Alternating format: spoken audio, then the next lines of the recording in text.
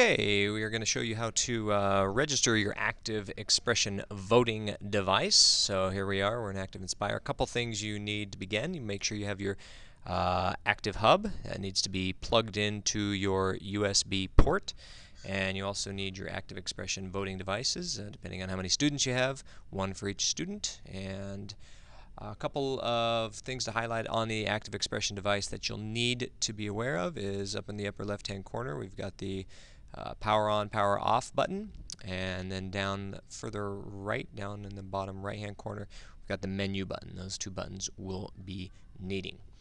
Okay uh, so to register you have to make sure that you can see your page browser. I've got mine over here.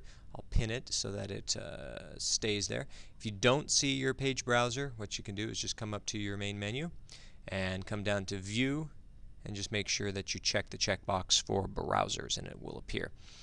Alright, now that we are in the page browser, we're going to click on the voting browser and then you're going to come over here and click on device registration.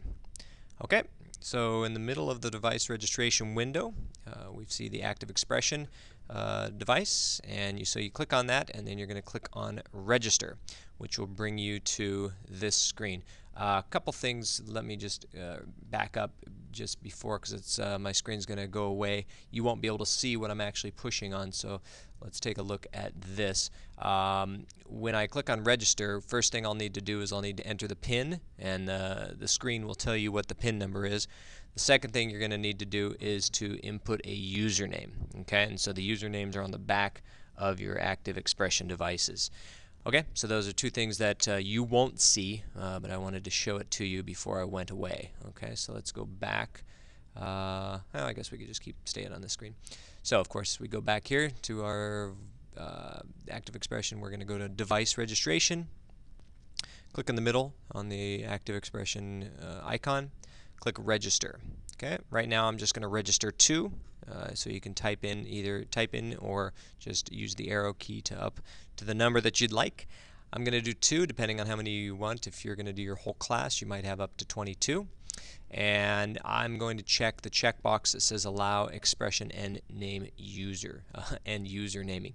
I'm going to change that to numeric and you could key that down to two or three. I'm just going to leave it at 14. If you are doing, if you're having your students enter the numeric number, then you might want to actually set that uh, to two or three.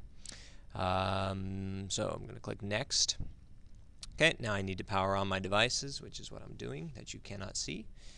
They're both now powered on. So so power on your ActivExpression device is what we just did. Uh, now I'm pressing on the menu button, which I highlighted earlier, bottom right hand corner of the device.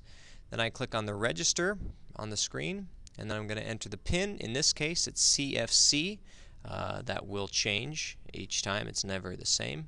And then I'm going to input the uh, number, which in this case, this one is number 26, and I'm going to click send. You'll notice it pops up right up there. I'm going to do the same thing with my other device. Menu, register, CFC. Uh, in this case, this one is number 27. And send. And that one should come up. Okay, so now you can see I've got two ActivExpression devices registered. And now I can click Done. All right? And so those are the things that I pressed on that you couldn't see. Uh, the CFC, you just had to press on this button here for C, this button here for F, and this button here for C, and then after I did that, abort turned to send, and I could press this button to send it, and then I entered 26, and then I pressed on that button there in the bottom right hand corner of the screen to send. Alright, so that is how you register your active expression devices.